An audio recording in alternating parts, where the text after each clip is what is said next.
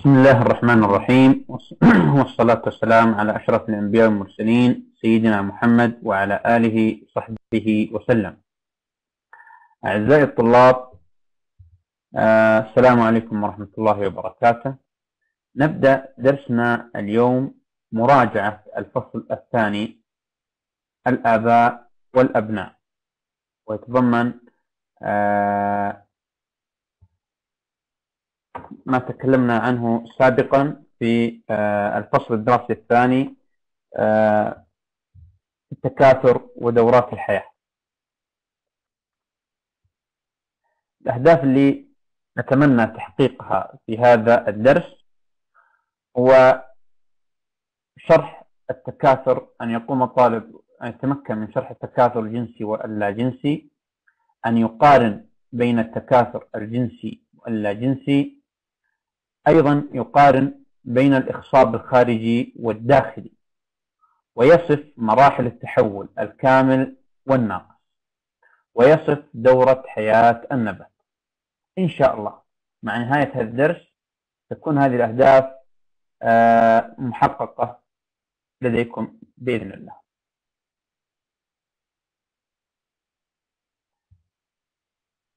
ما هو التكاثر الجنسي؟ وما هو التكاثر اللاجنسي؟ تكلمنا في الدروس السابقة عن التكاثر الجنسي والتكاثر اللاجنسي. أكيد عندك معلومات أتمنى التفكير ومراجعة في ذهنك قبل ما نعرض الشريحة تقدر تستنتج ما هو التكاثر الجنسي. وما هو التكاثر اللا جنسي بسم الله إذا التكاثر نوعان. التكاثر نوعان جنسي ولا جنسي. خلينا نشوف كل تكاثر وش الفرق بينهم. التكاثر الجنسي إنتاج مخلوقات حية جديدة واللا جنسي إنتاج مخلوقات حية جديدة أيضا. إذا كلهم ينتجون مخلوقات حية جديدة ولكن الجنسي الفرق أنه من أبوين. إنتاج مخلوقات حية جديدة من أبوين. زي ما نلاحظ في الصورة؟ هؤلاء الأبوين بعد عملية التكاثر أنتجوا تم إنتاج هذا الفرد الجديد.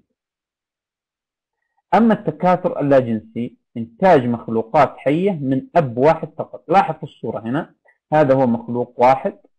بدأ بدأت علامات انقسام في هذا المخلوق.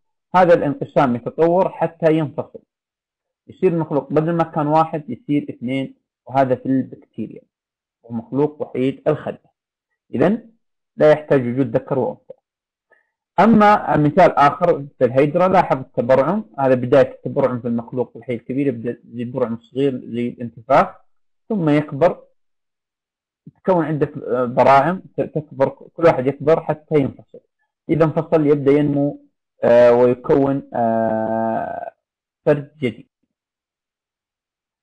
التكاثر الجنسي يحدث عن طريق الخلايا الذكرية اتحاد الخلايا الذكرية مع الخلية الأنثوية البويضة بويضة خلية أنثوية والخلايا الذكرية الحيوانات المنوية. يتم الاتحاد عند اتحاد هذه الخلايا يحدث ما يسمى بالإخصاب الإخصاب إذا لا يحدث إلا عند اتحاد هذه الخلايا وتسمى بالأمشاج المذكرة والأمشاج المؤنثة ونقصد بكلمة الأمشاج. المذكرة الخلايا الذكرية والأمشاج المؤنثة الخلايا الأنثوية. التكاثر اللاجنسي له عدة أقسام. التكاثر اللاجنسي له عدة أقسام. التكاثر بالانقسام اللي ذكرنا لكم قبل شوي هذا بداية الانقسام. التكاثر بالتبرع.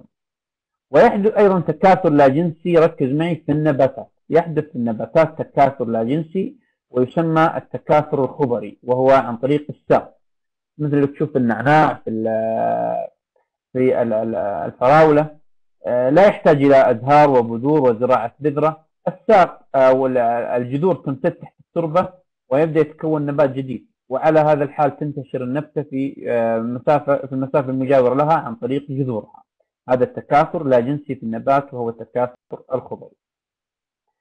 آه، أتمنى يكون كتابة آه، تجهز الكتاب وتفتح الكتاب على صفحة 51 افتح كتابك على صفحة 51 يلا انتظركم.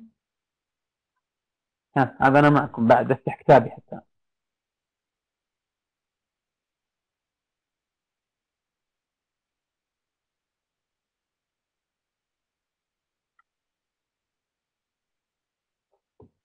تحت صفحة 51 بسم الله نبدأ.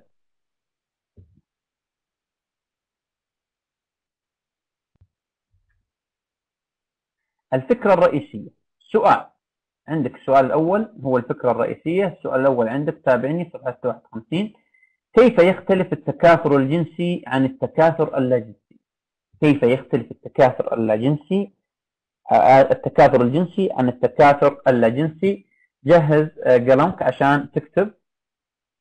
عندك مسافة بعد علامة الاستفهام. و آه، إذا ما تلاحظ ما تكفي اكتب في آه، ورقة خارجية إذا يختلف التكاثر الجنسي. عن التكاثر الجنسي هذه الإجابة يتطلب التكاثر الجنسي اتحاد خلايا جنسية من كلا الأبوين. ذكرناها قبل قليل. ويحمل الأبناء صفات الأبوين. أما التكاثر اللاجنسي فيتطلب وجود أب واحد فقط ما يحتاج الأب آه، آه، وجود اثنين أب وأم لا فقط من خلق واحد وهو الأب. إذا هذه الإجابة أتمنى كتابتها أعطيكم وقت ولكن وقتنا ضيق إذا يتطلب التكاثر الجنسي اتحاد خلايا جنسية من كلا الأبوين أكملوا الكتابة.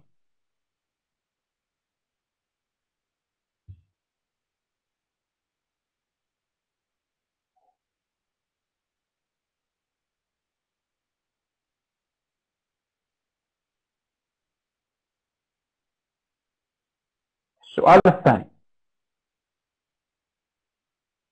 المفردات السؤال الثاني المفردات يعني فراغ تنتمي الساق الجارية إلى نوع من أنواع التكاثر اللاجنسي يسمى. تو مرة علينا كما لكم إن أنا فكر وش هو أيوة. تنتمي الساق الجارية إلى نوع من أنواع التكاثر اللاجنسي. إحنا ذكرنا أنواع التكاثر ثلاثة. واحد منهم ينتمي تنتمي إليه الساق الجارية. وش هو؟ التكاثر الخضري. إذا اكتب في الفراغ التكاثر الخضري.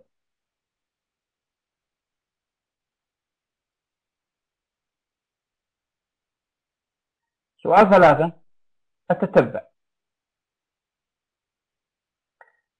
ماذا يحدث بعد تكون برع على مخلوق حي؟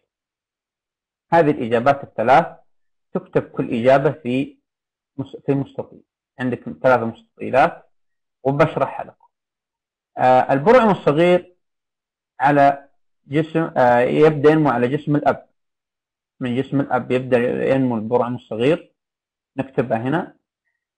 ينفصل وينمو البرعم أكثر. ينمو ثم ينفصل. نكتب هذه في المستطيل الثاني.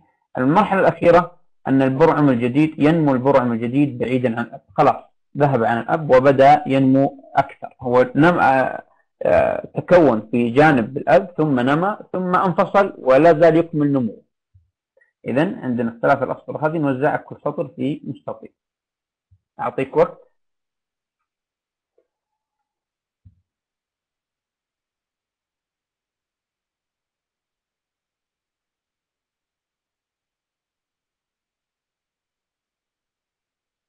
السؤال اللي بعده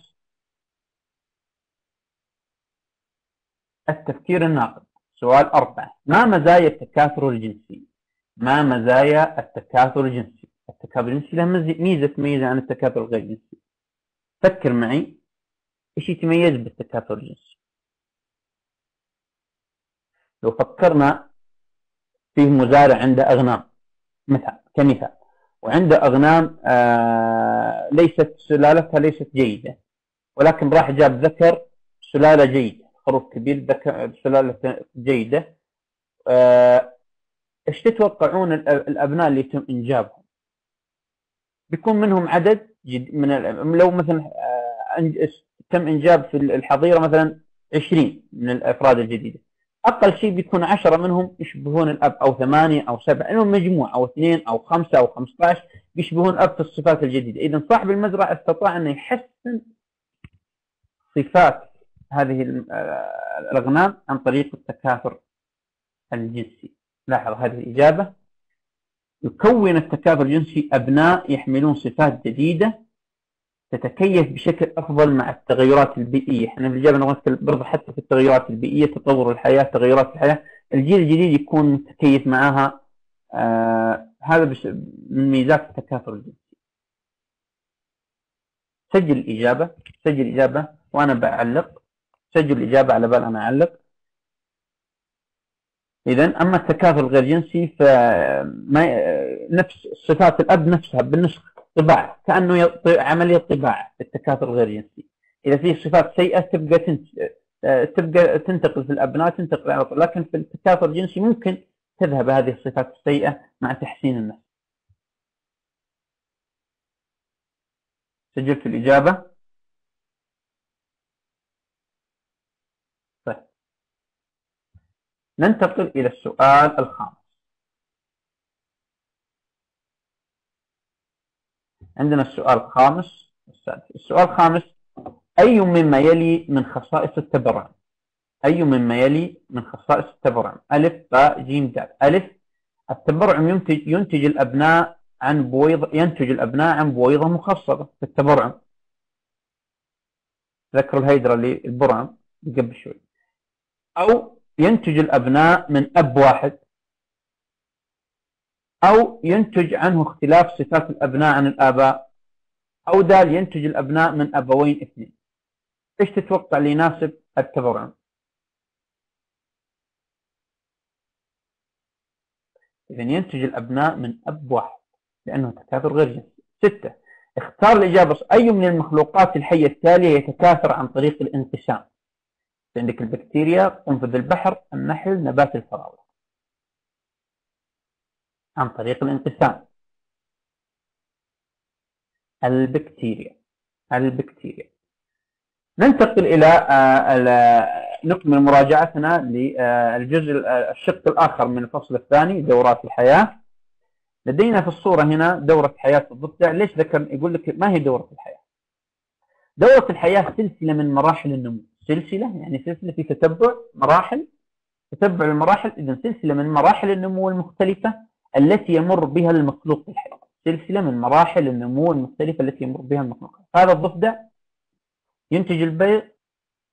هذا البيض مخصب يفقس يخرج منه أبو ذنيب ينمو أبو ذنيب ولا زال في مرحلة أبو ذنيب ولكن أكبر فأكبر حتى يتحول إلى ضفدع كامل. هذا الضفدع الكامل يعيد من جديد ينتج البيض وهذه نسميها دورة الحياة نسميها الدورة كذلك في الدجاجة دورة حياة الدجاجة.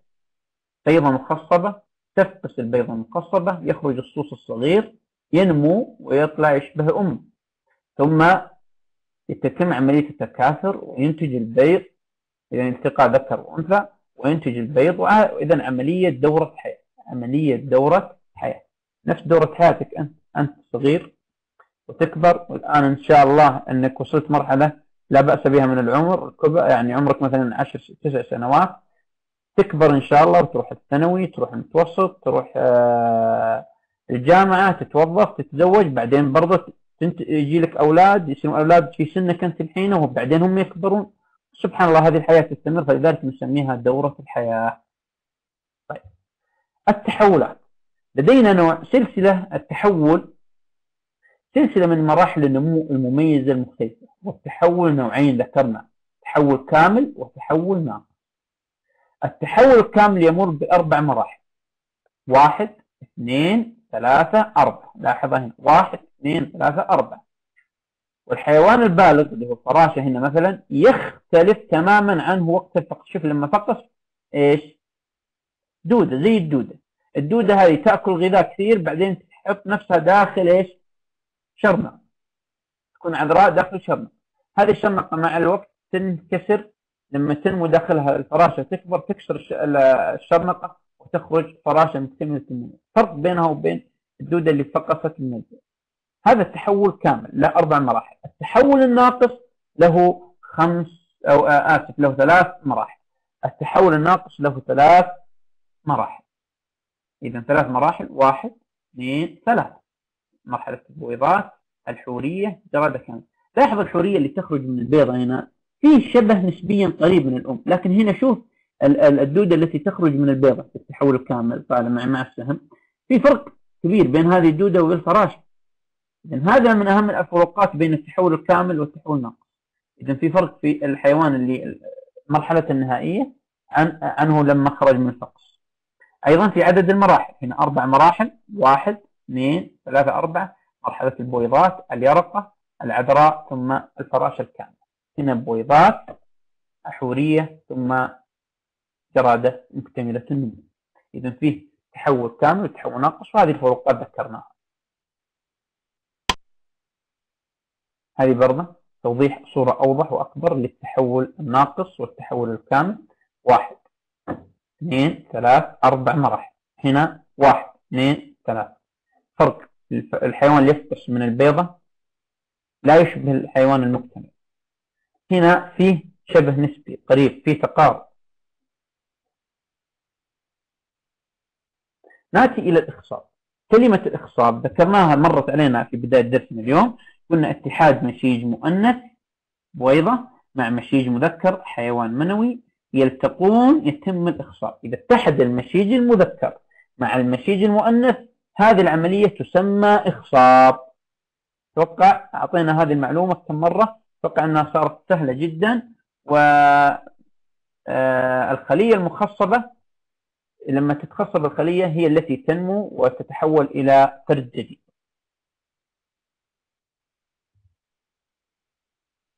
لكن الإخصاب نوعين الإخصاب نوعين أنواع الإخصاب.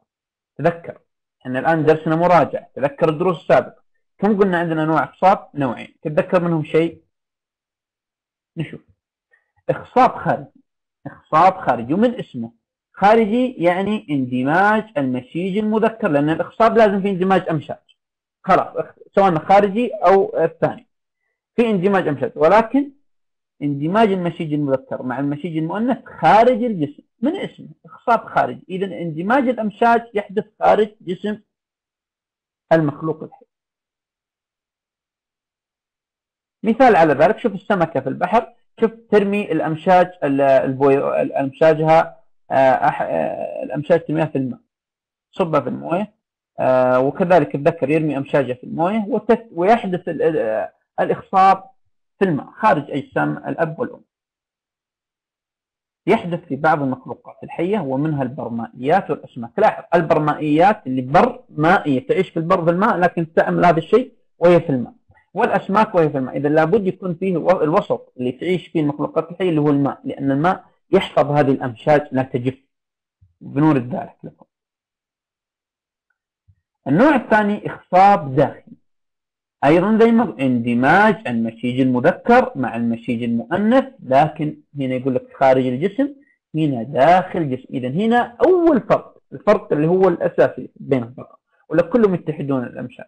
لكن هنا داخلي داخل الجسم هنا خارج الجسم. ويحدث في المخلوقات اللي تعيش على اليابسة. المخلوقات اللي تعيش على اليابسة بجميع أنواعها. يحدث في الزواحف يحدث في الطيور يحدث في الثدييات. الإخصاب الداخلي.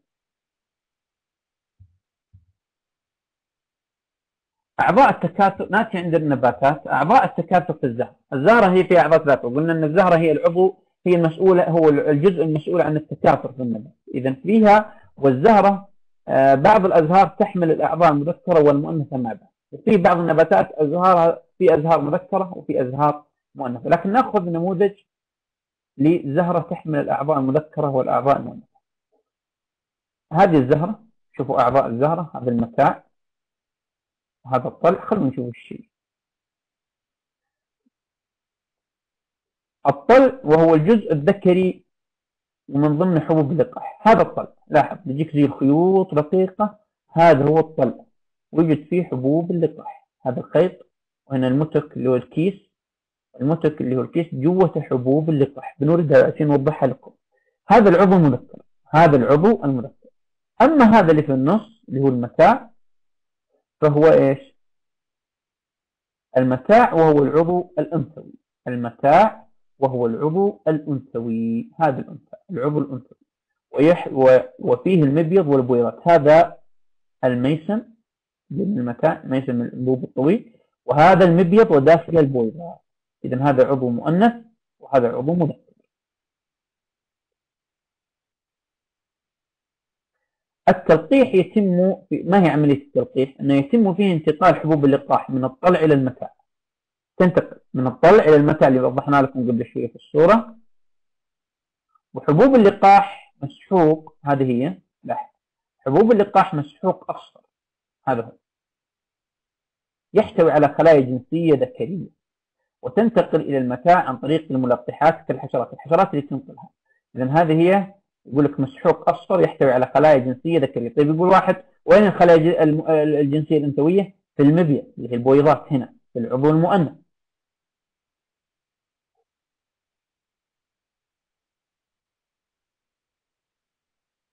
هذه دورة حياة النباتات نبتة هذه البذرة عند أخذت بذرة وراح المزارع زرع البذرة في التربة أسقاها الماء بدأت تنمو وتكبر حتى أزهرت وطلعت فيها الأزهار. هذه الزهرة نأخذ نموذج للزهرة. هذا العضو المؤنث الميسم.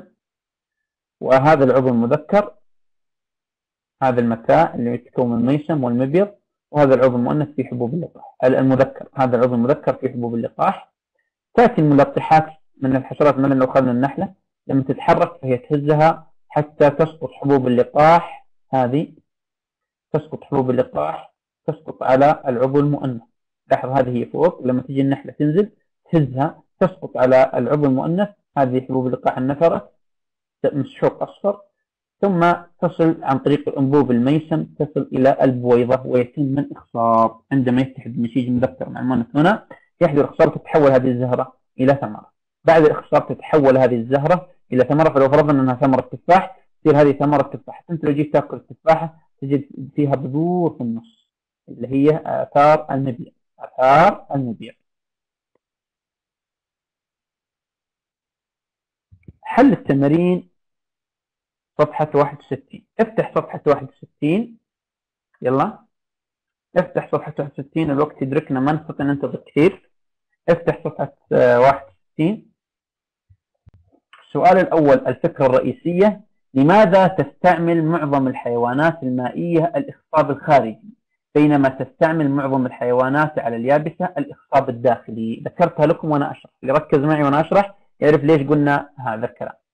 ليش الحيوانات اللي تعي... اللي تعيش في الماء تستخدم إخصاب خارجي؟ لأن قلنا الماء إيش يصلح؟ ها الماء في عملية يساعد أنه يوفر جو مناسب لهذه الإجابة تطلق الحيوانات المائية آه، خلاياها الجنسية في الماء لأنها لن تتعرض للجفاف ليش؟ لأنها وسط الماء ما تجف أما المخلوقات اللي في اليابسة فتستعمل أما مخلوقات اليابسة فتستعمل الإخصاب الداخلي لحماية الخلايا الجنسية. لأن لو حطت خلايا في برا تجف على طول من حرارة الشمس من الرياح من إذا أكتب الإجابة رجاء. آه، إجابة السؤال الأول. أكتب هذه الإجابة. إجابة السؤال الأول. أكتبها عندك في الكتاب رجاء. السؤال الثاني. المفردات الفراغ محله تتكون الشرنقة تتكون الشرنقة الصلبة خلال إيش؟ مرحلة إيش؟ العذراء. تتكون الشرنقة الصلبة خلال مرحلة العذراء. إذا نكتب العذراء في الفراغ رجاء. السؤال الرابع. خلنا نروح للسؤال الرابع. هل يمكن حدوث عملية الإخصاب دون عملية التلقيح؟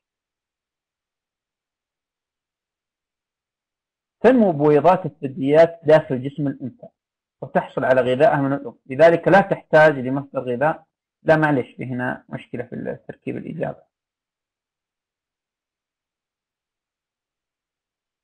هل يمكن حدوث عملية إخصاب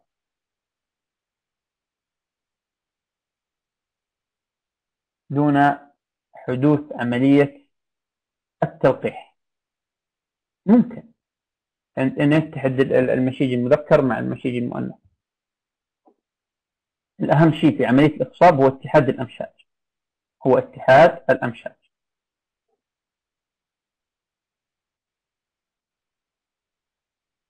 السؤال الخامس تتميز الحيوانات التي تتكاثر بالإخصاب الداخلي؟ هذه الإجابة لكي ندرك الوقت. السؤال السادس الأجزاء الخارجية للزهرة التي تتميز بألوانها اللي هي اللي تجذب الحشرات هي البوتلات هي البوتلات الملونة الأجزاء الملونة من الزهرة هي البوتلات عندنا صفحة 63 واجب. تمرين واحد اثنين ثلاثة أربعة خمسة ستة. هذه التمارين واجب موجودة عندكم الكلمات في الأعلى. وزع الكلمات في الفراغات وكلها معلومات سهلة من خلال الدرس.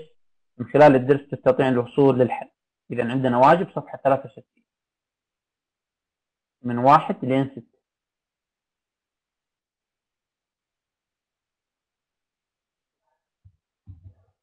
ننتقل إلى السؤال الثامن. روح صفحة 64 السؤال الثامن.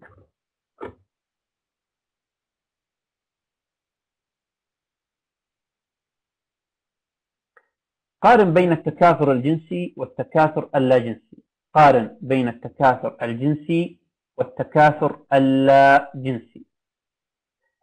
التكاثر الجنسي هو إنتاج مخلوقات جديدة من خلايا الأبوين. أما التكاثر الغير جنسي فهو إنتاج مخلوقات جديدة من أب واحد. هذه المقارنة اكتبها رجاء عندك تحت السؤال ثمانية. هذه مقارنة أحببنا نطرح هذا السؤال لأن فيه تحقيق مهارة من المهارات اللي ذكرنا في بداية الدرس. إذا التكاثر الجنسي الفرق بينهم هذه انطي الإجابة بالله.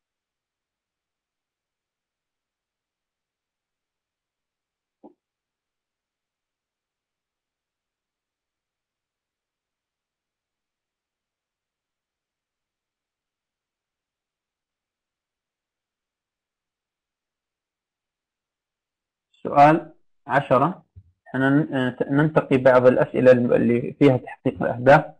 تكون فرصة حدوث الإخصاب الخارجي أقل من الإخصاب الداخلي. لماذا؟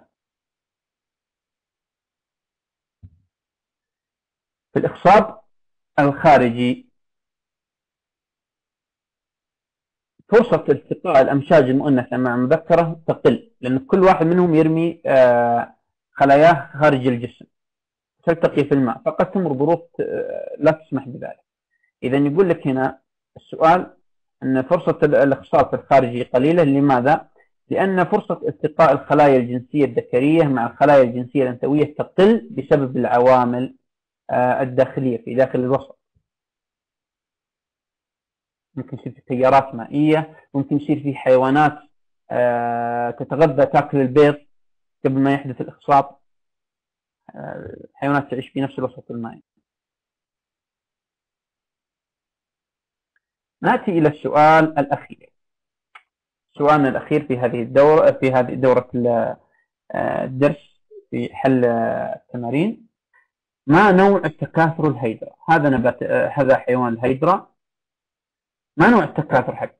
هل هو الانقسام ولا التجدد ولا التبرعم ولا التكاثر الخطري سهل جدا. إيش نوعه؟ ها؟ التبرع. إذا يتكاثر عن طريق آه التبرع. آه في حل هذا السؤال نكون آه وصلنا إلى نهاية الدرس. أتمنى أنكم آه، آه، آه، استطعتوا حل الأسئلة اللي تم حلها. أيضا الواجب اللي ذكرناه لكم صفحة 63 أتمنى حل الواجب. في أسرع وقت اللي ترسخ المهارات والمعلومات اللي اكتسبتها من خلال الدرس هذا آه، وصلى الله وسلم على سيدنا محمد.